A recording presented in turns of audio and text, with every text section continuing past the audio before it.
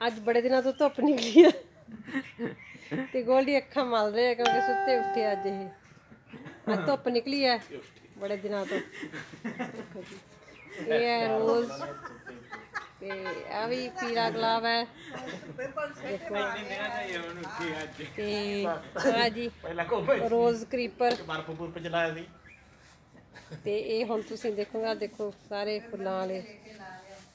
ਇਹਨੂੰ ਹੌਲੀ ਹੌਲੀ ਜਿਹੜੇ ਫੁੱਲ ਲੱਗਣਗੇ। ਆ ਪਟੂਣੀਆ ਪੀਲੇ ਰੰਗ ਦਾ। ਇਹ ਪੀਲਾਂ। ਇਹ ਹਲੇ ਨਹੀਂ, ਪੱਕੀਆਂ ਨਹੀਂ। ਮਕੂ ਕਹਿੰਦੇ ਆ ਦਾ ਨਾਮ ਮਕੂ ਹੈ। ਤੇ ਇਹ ਵੀ ਵੇਲਨ ਪੀਲੇ ਰੰਗ ਦੇ ਫੁੱਲ ਲੱਗਦੇ ਆ। ਤੁਲਸੀ ਵੀ ਸੁੱਕ ਗਈ, ਠੰਡ ਹੀ ਬੜੀ ਪਈ ਹੈ ਇਸ ਵਾਰੀ ਇਹ ਉਹ ਲਾਏ ਜੀ ਤੋਤਿਆਂ ਵਾਸਤੇ ਆਲ ਨੇ ਤੇ ਤਾਰਾਂ ਪਾਉਂਦੀਆਂ ਵਿੱਚ ਕਾਟੂਆਂ ਵੀ ਪਾਉਂਦੀਆਂ। ਤੇ ਕੁਛ। ਆ ਦੇਖੋ ਯੈਲੋ ਚਾਈਨਾ ਰੋਜ਼ਾ ਪਰ ਇਹਦਾ ਰੰਗ ਠੰਡ ਨਾਲ ਰੈੱਡ ਨਿਕਲਦਾ ਉਹਨੇ ਔਰੇਂਜ ਕਲਰ ਦਾ। ਇਹ ਸਾਰੇ ਬਗੀਚੇ ਦੇ ਵਿੱਚ ਬੂਟੇ ਆ।